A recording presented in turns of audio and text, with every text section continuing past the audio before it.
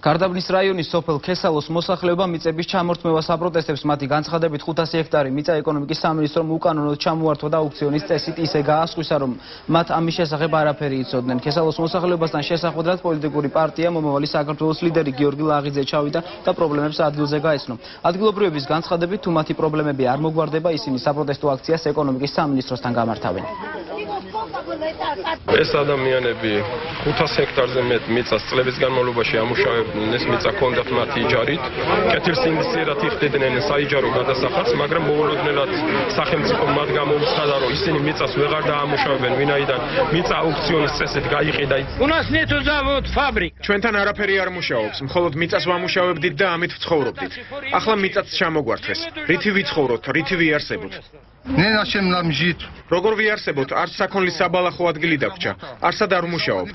ქურდობას ხომ არ დავიწყებ. მხოლოდ მიწას ვამუშავებდით და ისიც ჩამოგვართვეს ამის შემდეგ არასოდეს არ მივცემთ არჩევნებში მათ ხმას.